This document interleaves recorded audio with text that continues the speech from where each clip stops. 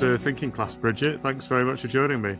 Glad to be here. Thanks for inviting me. It's a pleasure. It's really good to meet you. We, we had a good exchange on, on LinkedIn. I was I was drawn to you because of your articles in the European Conservative, because you write about the reality on the ground of, of sustainability policy, which I don't commonly find in other media outlets. Uh, and, and because of that, it, it seems so unfrequently reckoned with by business and, and the public at large. I'm sure we'll get into that. But, but first, what drew you to writing widely about the practical consequences of the, the European Union's sustainability program as an American in Spain? Sure. I, I think it's because it's a topic that interests me. Um, I started journalism in the Intermountain West of the United States. So in Idaho, right by Yellowstone National Park, in this little town where there was a lot of tension between like kind of the skier recreation set and the um, and the Mormon farming set. This was a, an area that had experienced a lot of demographic growth in the 90s and stuff like that. And they were going through a huge um, repurposing of land use, a huge new land use plan at the time that I was working there. And so, and, and I was reporting on agriculture. Agriculture was very important. I did a lot of potato articles. Um, yeah. But anyway, so that kind of took me into um, a lot of environmental issues because obviously there's a lot of environmentalists out there. Agriculture always touches on environmental issues and land use planning. And then being in this area where we were literally surrounded by public lands, by national parks and national forests. So that was kind of my introduction. Now I'm in Spain, and basically, I live in rural Spain. I live um, in Astorga, which is a, a small town of about 10,000 people way up in the northwest corner of Spain. We're a lot closer to Portugal than we are to France. And we're right on the Camino de Santiago. I walked through it in April. Astorga's beautiful. I was. Ah, you, I, walked, you I, literally I, walked right by my house. I can guarantee you. Yes. If you didn't wake me up with your, if you, you know, if you were talking loud or something in the morning. So, um, anyway, yeah, we live literally like a block from the Municipal Albergue de, per- de Peregrinos here. Oh, wow. Yeah, yeah, yeah, yeah, yeah. So, um, so anyway, yeah. So there's that, and then my husband is also a science is a scientist. So he's involved in he's a plant geneticist. So I kind of, you know, I'm always getting like little things like this in my ear. Um, and then, like I said, we're just living here, so I'm like far from the halls of power here, where the closest people that I have who are who are in touch with this and who are living it are the people on the ground you know, we have friends that are fighting having uh, a huge solar park being put right in their backyard. This area is getting a lot of solar parks being wanting to be planned and wind parks. And so there's a huge movement against that. There are some people for it as well. So I, I kind of live it in some ways. I kind of live it on a day to day basis myself, being in a rural area. So, and then and then as I would start, as you know, it just so happens that then the EU decides, or Ursula von der Leyen decides, let's do a European Green Deal. So now it's like the biggest policy, one of the biggest policy issues coming out of Brussels. So I had kind of this personal thing. And then right now it's just a really hot topic as well. Yeah, it is. It's interesting um, how, how often you hear people complain that there isn't enough uh, policy um, uh, or, or, there isn't enough um, oiling of the wheels for the policy to get through into real life um, uh, change, for example. People say, oh, there's lots of good talk about sustainability, but I don't think that's true at all. As far as I can see, the EU have done quite a lot of relaxing of planning applications to be able to to get these things to, to pass through when previously they otherwise wouldn't have done because of well environmental impacts in some cases or impacts on on the people. So i think there is a, a little bit of a, a, myth and i don't really know why that's there that there isn't enough support for this stuff because it is i mean it's moving at a at a, a rapid pace and it seems not to be um, necessarily that popular with uh, the people that it's affecting uh, down on the ground. Yeah, no, I cannot tell you exactly what goes through Ursula von der Leyen's head or any of the commissioner's head or all or any really of the you know backroom talks they have or anything like that. What i can tell you is that it seems that uh, for various reasons there's a huge push for an energy transition and the idea of renewable energy has become the conventional environmental wisdom right we need to uh, climate change is being caused by carbon emissions. And so we need to get carbon emissions down, which means that we need to go to renewable energy. Um, and so that's where this push for wind and solar power, electric cars kind of comes from. Um, you know, obviously, I think the war in Ukraine and kind of and the energy crisis that came from that, from being cut off from Russian gas, helped push it through more. But I mean, basically, from what I from what I can tell, the idea of renewable energies is conventional environmental wisdom, and so I personally kind of think too that you know the Green Deal it's been pulled out. Ursula von der Leyen pulled it out as like her flagship project for her EU presidency. I mean, it seems like honestly it seems to me like it could be a lot of instead of like intense thought of like what are really the environmental problems in Europe and how can we address them it's very like flashy and showy we're going to reduce emissions by this we're going to do this and so you see that a lot of it seems to be these kind of broad brush policies that are full of the conventional wisdom about carbon emissions and decreasing carbon emissions and nature restoration, which I'm not saying that there's not truth to it, you know, that there's not things that need to be improved. Um, you know, forest, forest could be much improved. Many areas could be much improved environmentally, even though Europe is quite nice environmentally already in many areas. Um, you know, there is a lot of controversy around the science of climate change and carbon emissions and things like that but I feel like overall more than more more than um, you know these are the genuine problems that Europe faces that we've seen is that it, it's a very politically showy policy. And then and then the rubber meets the road. Well, and then you know with this push for renewable energies, how do you get it through? you just if we're if we really need this transition if we really want it if we're really going to sink all of this money into it we're going to have to get these solar panels up as quickly as possible and so you're going to have to reduce regulations around it that's the only way that's the only way to do it yeah well eh, you've written extensively about some of the negative practical consequences and there are definitely plenty that i've managed to grab a hold of in some of my research as well. Before we get there, let's see if we can um, spot the successes. Is there anything um, within the regulatory program that you think has been a success on the ground? um, nothing comes to mind, I'm afraid. Apart from, I suppose, if they say they, they want to build lots of solar, that they're managing to build lots of solar. So it's a success insofar as the objectives that they're setting out to achieve, they're achieving those objectives. Uh, yeah. yeah. Yeah. In the Green Deal. Yes. Yes. I mean, I do think in general that we have to acknowledge that the environmental movement is extremely necessary and extremely and has brought successes like overall you know if we look at past decades i mean if we if we didn't have we can point to lots of failures of government oversight lots of problems that exist but if we didn't have environmental regulations in place, let's face it, corporations would do whatever they want and they wouldn't really care how much they polluted in a lot of ways. I mean, we we have these regulations in place for a reason. We have cleaned up a lot. We have, I mean, we have the standard of living and we have Europe the way we have it in part because of an environmental movement that and pushback from the worst parts of industrial exploitation. If we didn't have that, you know, now we're kind of in in the next phase, which is a little bit different. And honestly, I can't really think of anything that I can say, um, oh, that that program was successful and that and that did a lot of environmental good in in a certain in a certain way.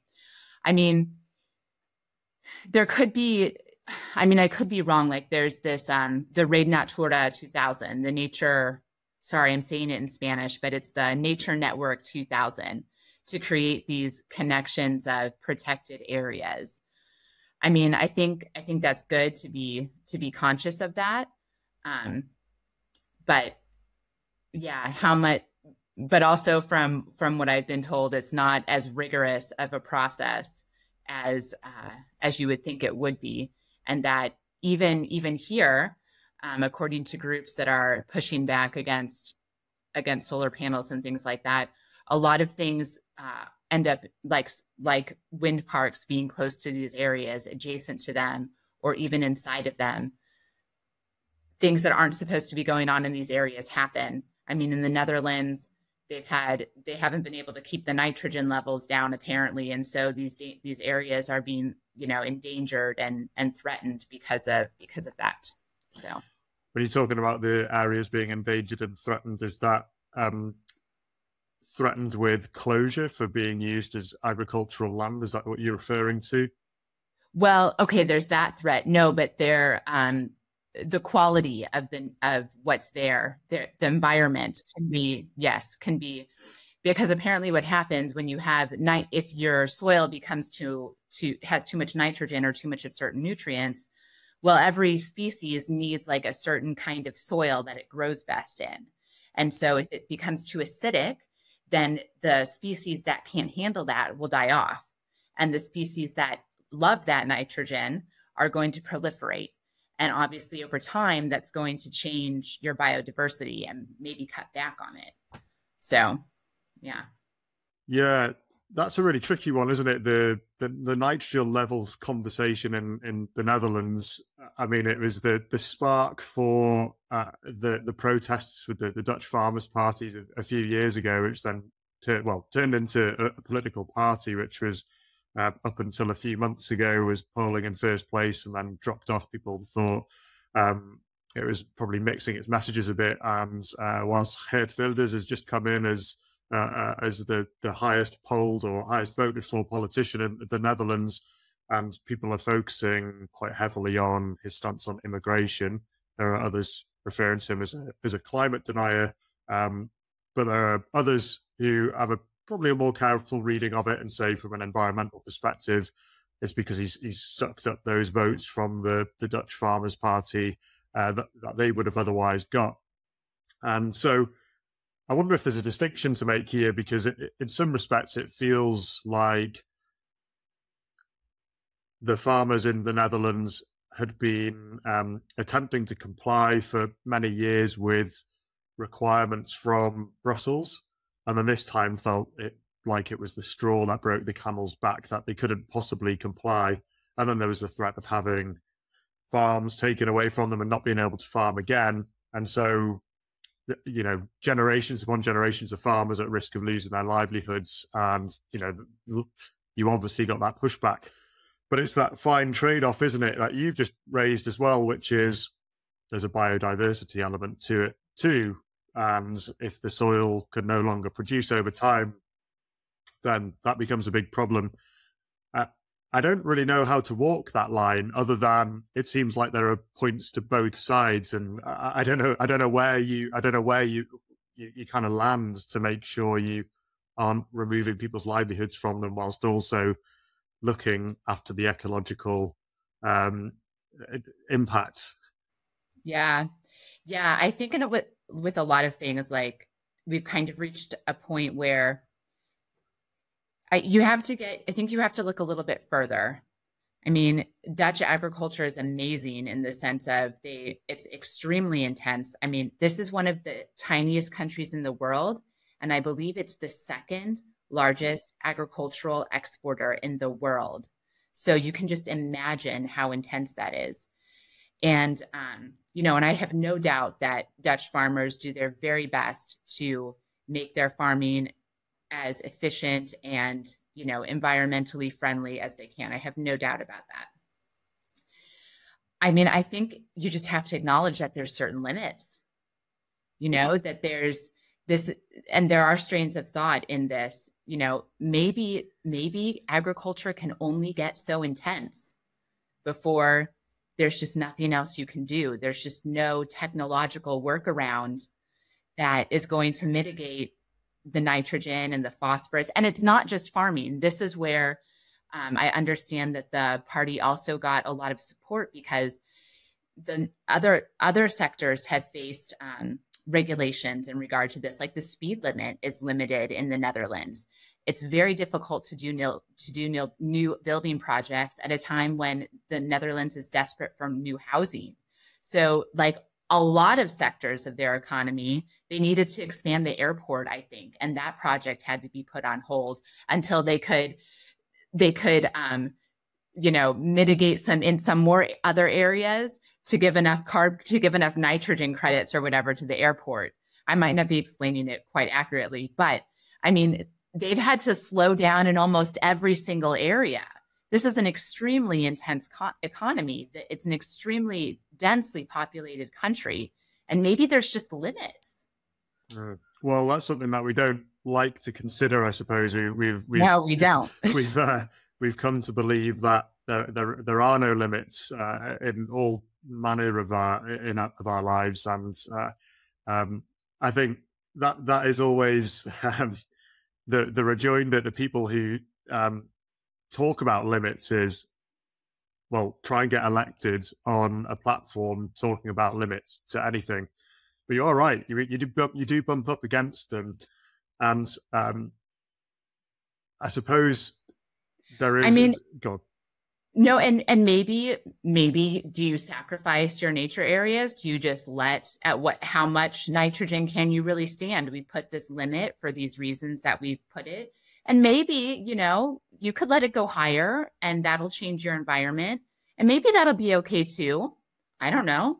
Maybe if there's only like, you know, five kinds of grasses that take over everything in the Netherlands, I'm totally making this up. I'm totally making this up but you know i don't know what all the what the the consequences would be but you know that's another possibility so but then you'd have to convince you know i suppose people who like the species that will die off if there's too much nitrogen that they can live without those too yeah there's also the point that the Netherlands, as a, the second largest exporter in the world of agricultural products, clearly is a pretty key part of global supply chains, which is what the EU generally quite likes, right? That most of its regulatory program is about uh, promoting a, a, global supply chain in some way.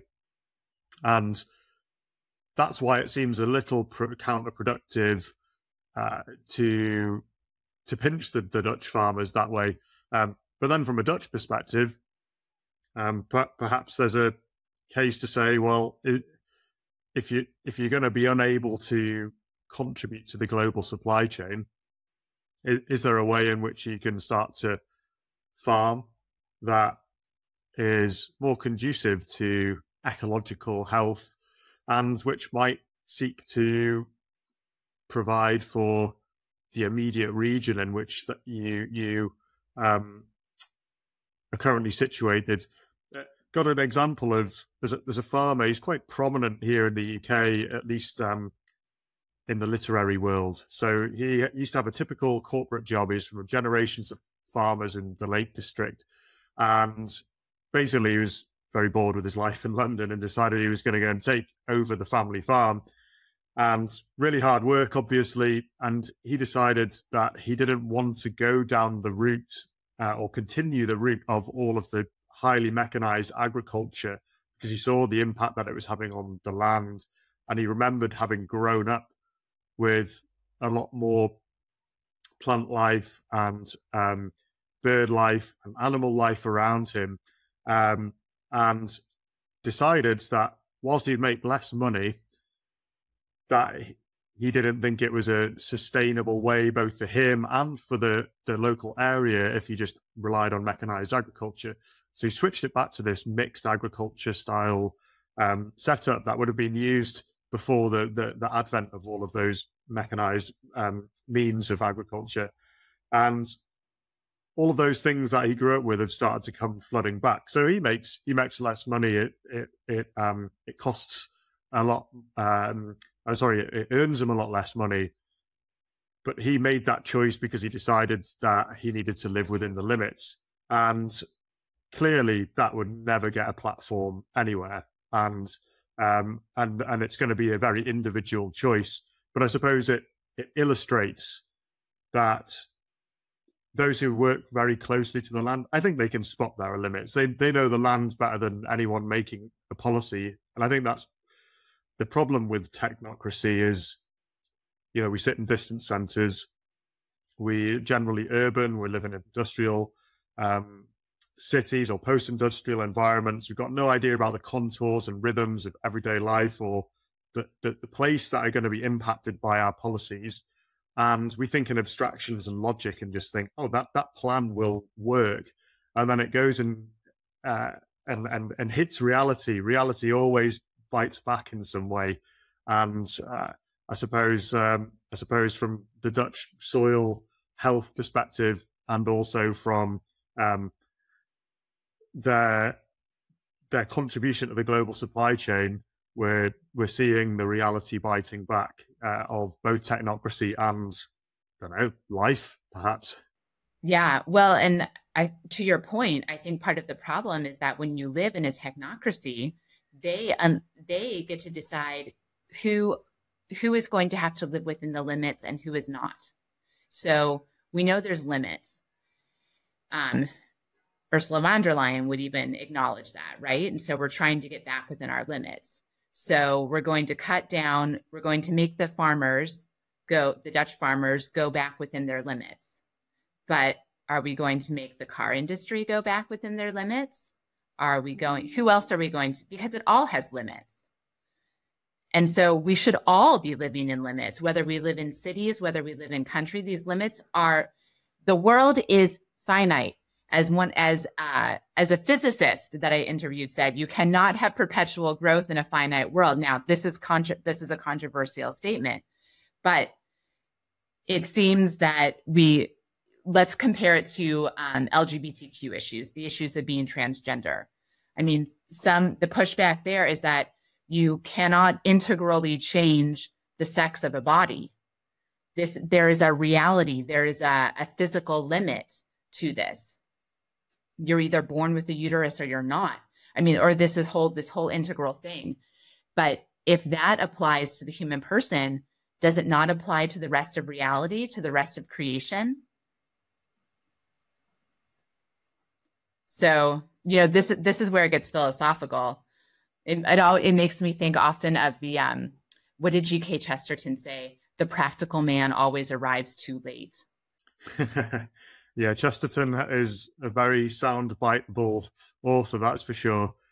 Uh, uh, yeah, the talk about limits gets me thinking a little bit about um, Patrick Deneen's work, Why Liberalism Failed. And um, I know many others are, are articulating uh, the problems with liberalism well at the moment, which is it the emancipatory power of it uh, sows the seeds of its own destruction because in the end there's there are no other barriers or limits to overcome because they've thrown everything else away all restraint all limits whether they be cultural traditional um, various social norms. And because it, when it's tied to economic liberalism it will just keep pushing and pushing and pushing until one day it starts to bump up against limits and um, and then there's nowhere else to go at that point because it's it's uh, it's succeeded, but it succeeded almost too well. And uh, I suppose it's the question of what comes after that, uh, after you've lived uh, in every way that there aren't any limits. And uh, clearly, there were lots of things that kept us in check culturally and traditionally, and what have you, uh, before before they they fell to the wayside. Mm-hmm. Can I make two observations? Um, so one is that I feel a lot of sympathy for farmers. I mean, let's face it, they we have this model of agriculture that is about mass production. So I mean, it's not it's not easy to be a farmer. You had you're subjected to all kinds of vicissitudes, from market vicissitudes to whatever can happen to the weather. Most farmers in the United States, I honestly can't say so much for Europe, but it could be, they operate on debt. Most farms in the United States operate on a debt. You know, you buy you have to buy all these inputs every year and hope that you know you get them back at the at the end of the season and and things like that. So we've um, made you know we've made this model of agriculture that is very it's almost oppressive to the farmer and i think one thing that shows in that is that farming has one of i think it has the highest professional suicide rate of any profession and one of the tragedies of this whole dutch situation has been the farmers that have committed suicide but i think we also have to acknowledge that um, farmers have a very high suicide rate as it is. And it's something very telling about our society, I think, because when you think about it, agri- agrarian societies of old, you know, the Euro- agrarian Europe had very, very, very low suicide rates. I mean, suicide was like very rare. And now, you know, people lived in the, in more, I mean, there's lots of reasons, but it's something that should really make us reflect on the model of society that we have and the way that we that we are made that really that we have made farmers do their farming through like the green revolution of the post-war era and the hyper industrialization of farming and things like that i mean we should really reflect on that i think as a society not you know so we should so it, it should make us reflect it really should absolutely absolutely yeah. and and the farmers do seem to get hit from almost every angle in almost every nation as well. I mean, our Irish uh, cousins across the, the Celtic Sea here from um, from from Britain, the, there was the, uh, the, the methane emissions targets, which have led to that 200,000 cull of cows that have been mandated over the next few years, which is, I think, something like a third of Ireland's cows. And again, it goes back to this global supply chains point, which is you're trying to reduce methane emissions in this country of five and a half million people. You're going to remove protein from the local supply chain. They're going to then have to rely on a global supply chain, which probably means if they want to keep eating beef, which there's every chance they will do, because culturally that hasn't changed and isn't going to change overnight because of a methane emissions mandate then that means where they're going to get it from well elsewhere which is going to require all the emissions to bring it over or if they are going to eat the um, the processed food on the global supply chain then that's going to require soy and that soy is going to come from the amazon rainforest which has been chopped down for it and so all, we're robbing from peter to pay paul here uh, some would argue that you're going to kill 200000 cows for a start your methane emissions ledger book's going to look pretty pretty healthy but that doesn't mean they disappear. They just get outsourced somewhere else and in some other way.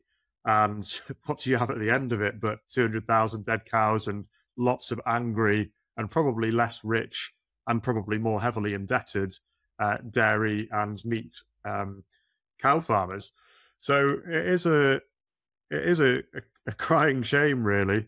Uh, I, I don't really know. Uh, I don't really know where it all goes, and I, I think there is a um, there is something else to, to take into account here, which is we can place targets on things like methane, but then we don't take into account the interactions within creation, which is the, the grasses on which the cows stand does a very good job of processing methane. It sucks it in and turns it into something else but I very much doubt that's being taken into account with regards to the policy making. It's not to say it take it does it all, but the reason why Ireland is that kind of green and pleasant land. No, hang on, I'm mixing my metaphors. That's England. Ireland is the Emerald Isle. The reason why it's the Emerald Isle is because of that um, relationship with uh, the weather, with the the people and the the animals on the ground, and just by wiping out a whole bunch of cows, you you there are a bunch of knock-on effects, some unintended consequences that you're going to have, not least the food situation. Yeah, I have a feeling that Ireland will not be less green after culling 2,000 cows. I have to admit.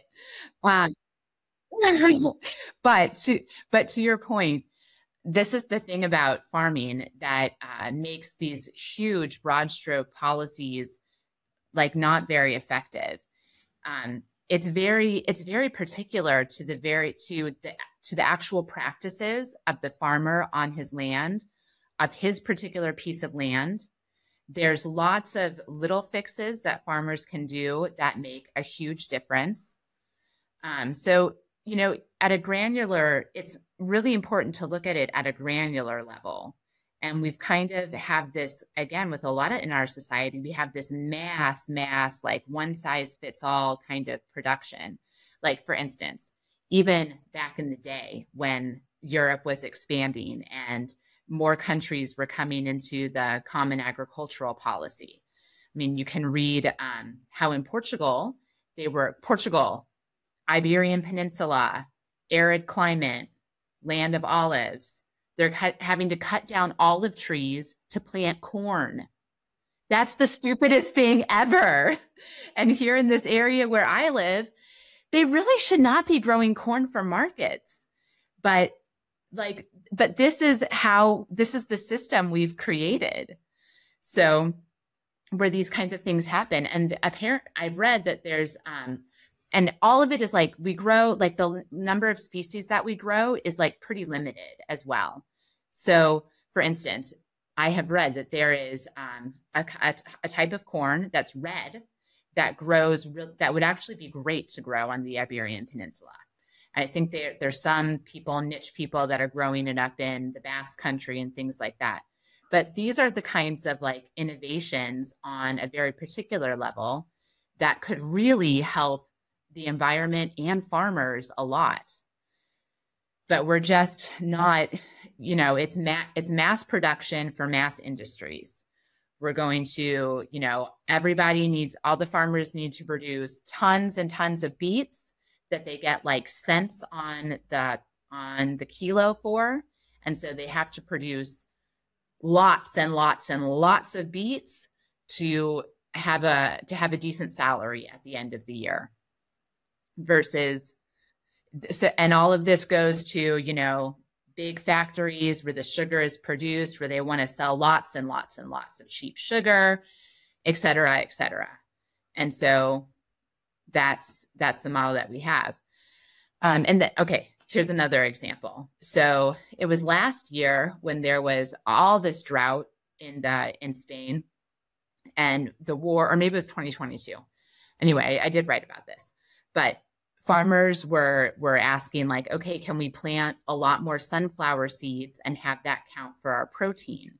Because what happens in um, european farming is that we have to import a lot of soybeans or or animal feed that's all soy based because we don't have um, soy doesn't grow well in europe. We can't really compete with soy that's grown in the americas whether north or south america. They can just grow it a lot better and a lot cheaper and soy is a lot of the base for like animal feed, which Europe does have a lot of animals. There's lots and lots of cows and pigs in Spain that all need to be fed. So you have all this feed that's based on things that have to be imported. So part of what the um, what the agrarian policy is trying to do is to get farmers to produce things that have more protein, so we can so we don't have to outsource that. Well, sunflowers have sun protein, but um, in and of itself, it doesn't have enough protein to qualify as like a high protein crop. But apparently, when you process it, so they're mostly used for oil because they have a lot of oil. So, but when you process it and you take and then you concentrate the um, the the meal, like the sunflower meal that's left over from the oil, when you concentrate it, it's pretty. It's a good enough concentrate of protein that's actually used in animal feed. And so Spanish farmers were saying, well, can we get the protein subsidy for the sunflower cakes? And they were told no. And sunflowers, and that's super unfortunate because sunflowers is a really great crop to be growing in Spain because it can grow well. I mean, we have tons of sun and it can grow, it can grow pretty good without, um, without irrigation. It doesn't, it's not as, as corn needs a lot of water to grow well but sunflowers really don't need that much. So we should really be doing more sunflowers than corn, for example. but the in that case, the the European Union said no, sorry, we're not going to make this exception, even in this situation where we can't get all the sunflowers that we usually would from Ukraine, and and let Spanish farmers get this this subsidy to help them produce sunflowers. So I'm sorry, that was a little rambling. I'm not no, sure. Not at all. Not at all. Uh, there was all good stuff about. Uh, it's me who is the rambler. So uh, please keep on grabbing that mic off me. And no, and but one more point, um, and to this point of like putting limits on and like what is what what is to be gained from you know culling cows and things like this. I mean, I think from an economic perspective too, if you're going to target an area for um, shrinkage in order to meet your environmental goals, farming is a great target because while there are a lot of farmers and while it has a certain amount of weight in the um, in the European e- economy, Europe is a next net exporter of food. You know, we are not going to starve because there are a few less cows. Even if you know, because there are less cows, we can we can cut back on our production and Europe will not starve. We are a net net producer of food. So there's that there's that to begin with. And then you also have, as you've noticed, noted, if it doesn't come from Europe, it'll come from somewhere else. And that's where, like with the Mercosur agreement, you have these other countries from Australia to Latin to South America that are just chomping at the bit to get deeper into the European market.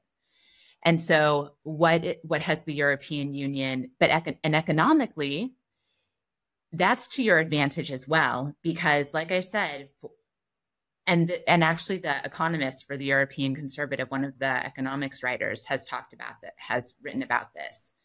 When you think about like value added and things that are really profitable and that bring a lot of weight into your economy, it's not agriculture, it's industry. This is why the European Union. This is why Germany is so. Germany is a great agricultural producer as well. I mean, they have wonderful places to produce act to produce wheat, to produce many things, things like that. But they're desperate to not lose their industry, right? And so, what what is to what is to the European Union's economic advantage? And this is what the farmers have complained about.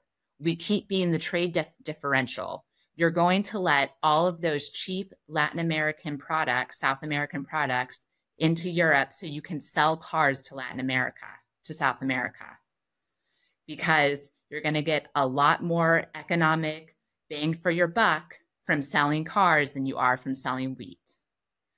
And so if you're going to cut something out, it may as well be agriculture. If you're going to cut down, you'd rather cut down on agriculture than you would on cars. Hmm. Interesting. Uh, I suppose that is the story of the Industrial Revolution as well, which I suppose we keep on having this one badged up as the fourth Industrial Revolution, the the, the green uh, the green energy transition is. Well, this, this is know, the result. the money is. Yeah. Well, partly.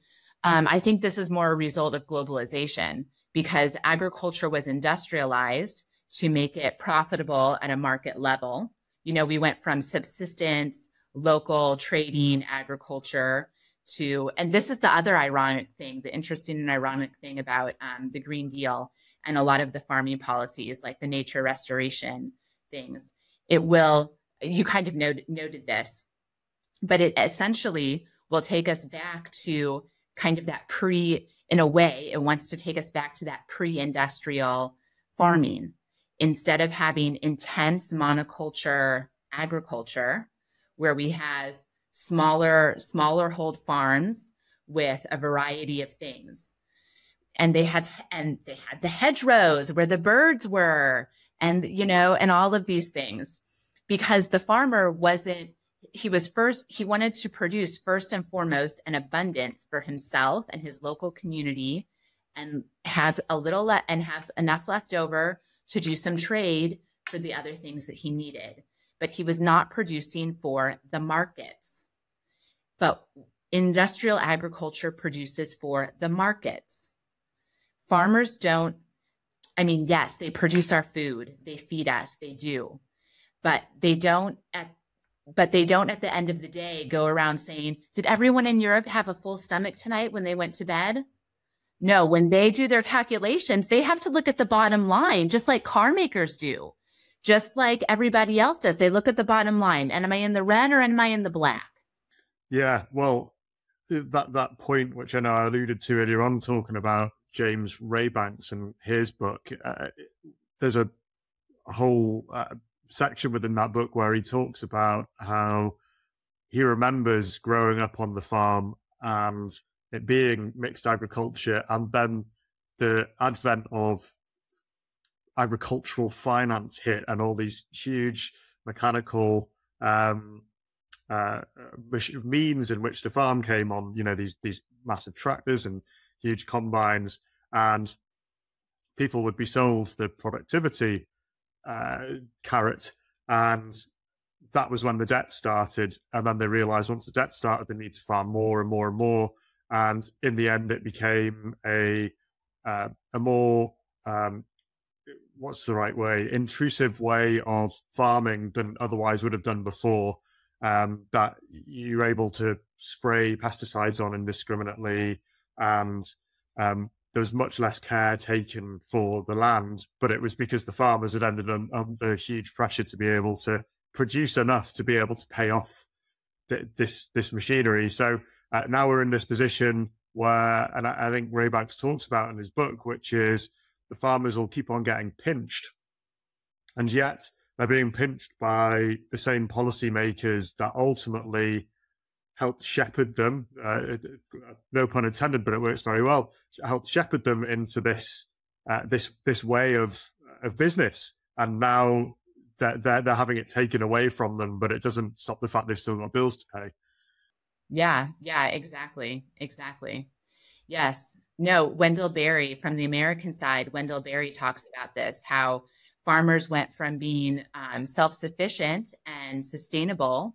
They you didn't have to buy seed every year. You could, you know, you don't have to buy seed unless, you know, unless you, un, unless you're buying it from Monsanto, right? Uh, and except in the modern conditions, you don't necessarily have to buy seed. You can take the seed from your tomatoes. You can take the corn. You can take the, the corn and the wheat and you can save some to, you know, replant for the next year. You don't have to buy it unless you're, unless you have some kind of a, um, like a patented product, I believe something like that. Um, and the inputs. So yeah. Oh, but yes, basically, basically that's what happened. They, he talks about the same thing that, and they went from this model where with machinery, with their, with all their products, they were self-sufficient. But now again, we're at, yeah, we're at the debt model. Sorry, there's another thought I had about that, but it'll come back to me. No worries. Well, I'm about to jump around a bit, almost back to the beginning of our conversation, because we talked quite a lot about solar panels. And I think to the listener and the viewer, solar is considered to be a very good thing.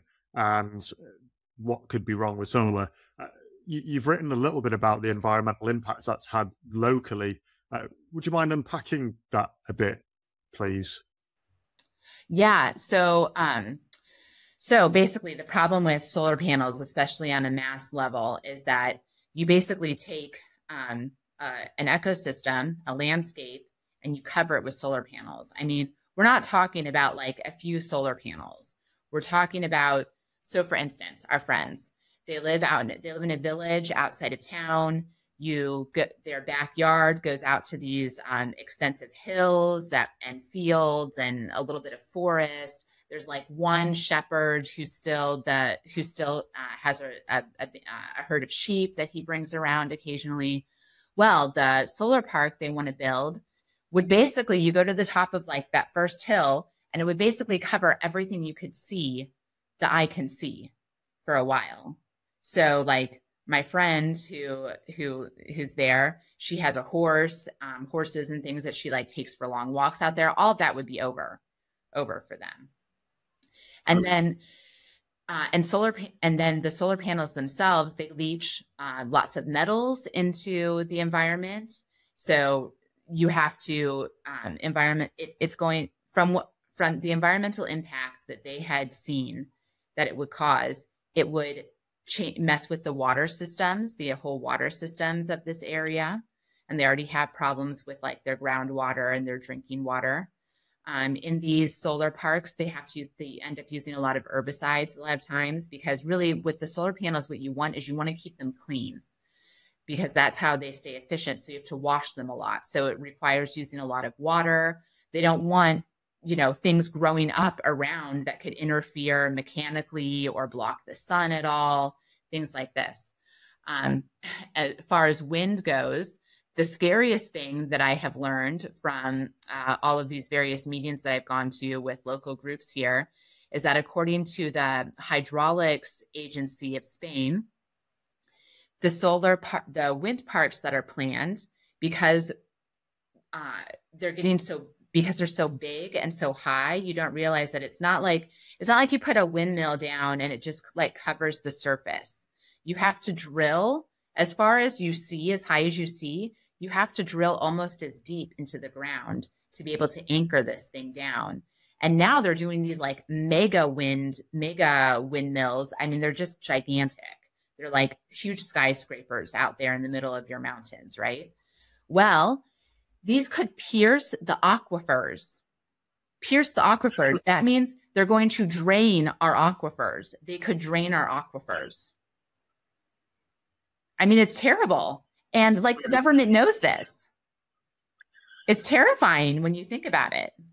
Yeah, it is the, the, the environmental impacts of renewable energy, they're far too infrequently reckoned with. I, I, I often see complaints about there being a ban here in the UK on onshore wind farms. You know, this is ridiculous. Stop, stop it with the NIMBYism. Get it built. And I didn't know about the aquifers.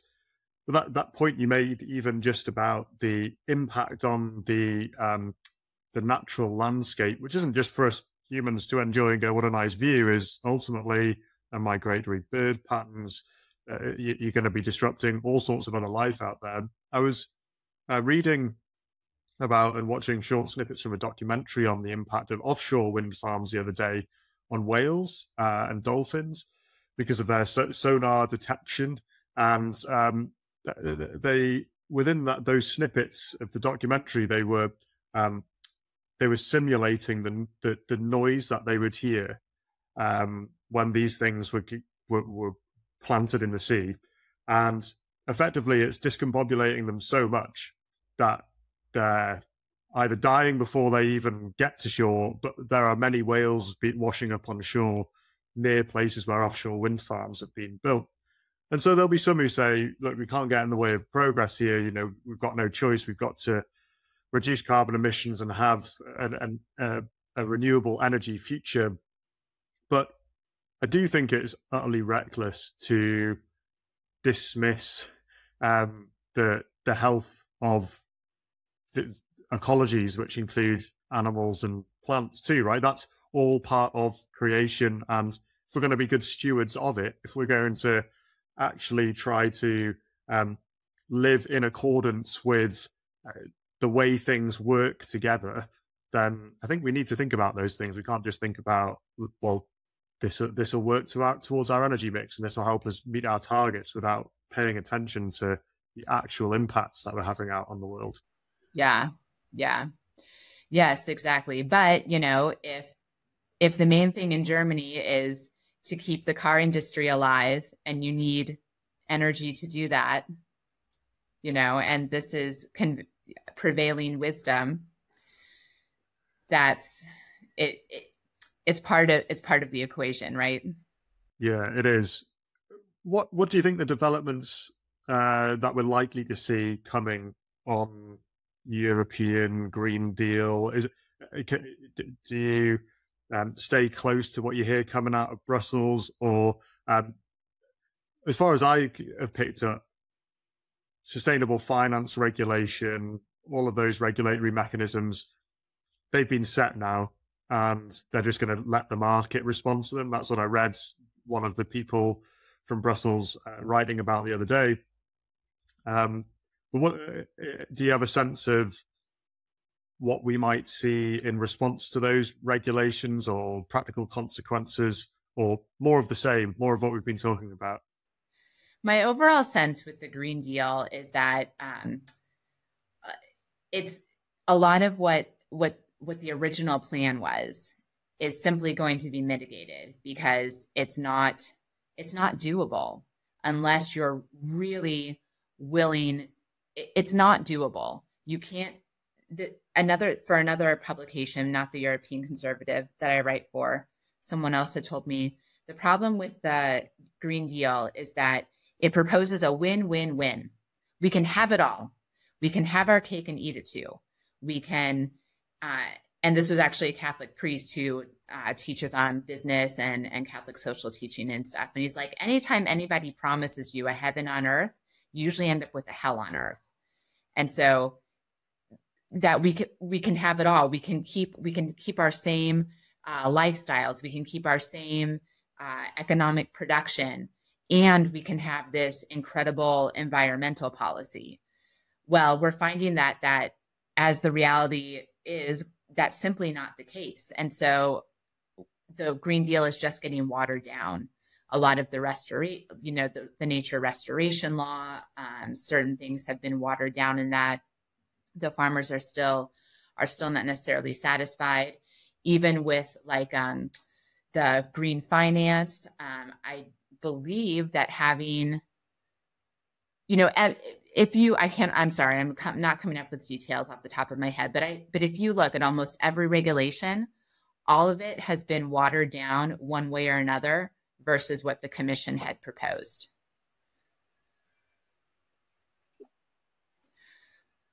Because because it's politically it's extremely difficult to sell except i would have to say except probably renewable energy targets that's probably the one area that has increased actually now that i think about it they, that they've um, fast tracked. But like um, but anything that anything that would impact industry anything that has like except for except for the electric cars. Okay i will say except for the electric cars. Um but a lot of things that end up impacting industry and energy prices has been watered down. Like nuclear was not supposed to be considered a green energy in the new taxonomy i believe. Um, and then i'm sorry i can't i'm not coming up with with details. But overall that's right. It was it was excluded and um then that, uh, uh, as was natural gas, wasn't seen as a an appropriate transition fuel before you got to renewable energy. Um, and the criticism of r- removing both of those things is, whilst obviously nuclear has the problem of you've got to deal with nuclear waste for generations to come, um, is it's zero emissions and the most energy dense thing that you could choose. So if you want to get very quickly to zero emissions, then that's the way you go, and you contain it. Um, and the and the criticism of not including natural gas in as a transition fuel was, well, it's sixty percent less in terms of emissions and pollutants compared to coal, for example. And having excluded both of those two things from the taxonomy, um, or at least for new business activities and investments, is you've had Germany having closed down its nuclear reactors following Fukushima, and it had started before that then relying on the dirtiest kind of coal to power itself. Obviously, the Russian um, invasion of Ukraine meant they couldn't rely on the gas that they had been. And so um, now they're buying nuclear energy from France. And um, I, I, think this is this is the bind that we're finding ourselves in is you got these renewable energy targets being set, all of these other fuels being told, uh, no, that's not viable. Uh, and actually, we're doing quite well on the renewable energy target, um, or at least meeting them, because I mean, you've talked about Spain, how the renewable, uh, or written that Spain has had renewable energy targets that um, have been met, they've been absolutely exceeded, and they're still building more and more renewable energy. Yeah, yeah, um, but we're also we also haven't like seriously reduced our our gas use or our, our gas, you know, our natural gas purchases and things like that. So we might not be getting piped in Russian natural gas anymore, but we're getting lots of LNG gas from other places, supposedly other places. Probably a lot of it is Russian gas in the end, too. by hook or by truck as it all, you know, kind of ends up on the global market. Yeah. Well, well we've spoken quite a lot about technocracy today, its its real practical impacts. And I think we could probably surmise that, there's a there's a blind spot uh, here that that exists within regulators, legislators, business leaders. How would you fix that? Is that is there a way of fixing that blind spot? Gosh, I don't know. I mean, I from what experts, I'm not an expert, I'm just a journalist who talks to experts and writes down what they say and learns from them. But from what they tell me, I mean, what we really need is like a deep, deep, deep rethink of a lot of things and to think on a much deeper level. And politics doesn't necessarily lend itself to that all the time. You know, you have the election cycles are very quick. You have to show results or not show results, put forth politically acceptable policies. So I don't know that we're necessarily going to see huge, huge changes unless it's just, you know, going back to just not doing the Green Deal anymore and just keeping things as we as we have them as we go along. Yeah. Well, unfortunately, we'll, we will not hold our breath. We won't hold our breath on the rethink. Uh, no. um, Bridget, I appreciate you've been going for almost an hour, so I'm going to let you go. But um, where can people find you? Where can they follow you and and read about your work? Ah, okay. Uh, I write for the European Conservative. I contribute sometimes to America Magazine as well.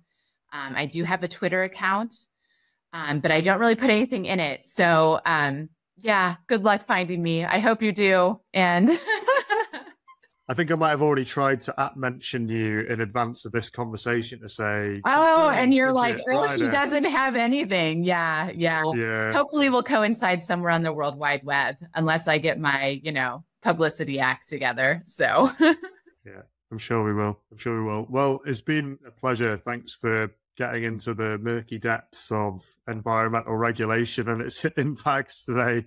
Uh, and I hope to carry on the conversation. I'm sure you've got much more to write about, and I'll be certainly following it. Thank you. Likewise. All right. Thanks very much, Bridget. Okay. Bye bye. Thank you for joining me in Thinking Class today. To keep up to date with all that I am doing, please subscribe to the Thinking Class YouTube channel at Thinking Class and follow me on X at Thinking Classes. Thinking Class seeks to understand the civilizational issues we face and why what our leaders do in response matters. Here, I seek to explore the ideas, values, and culture that made our civilization, those that are unmaking it, and how leaders at our public and private institutions should respond. Engage with me on YouTube or X, or write to me at thinkingclasspod at gmail.com to tell me who you want me to speak to and what topics are important to you. I look forward to seeing you there and for joining me on this journey.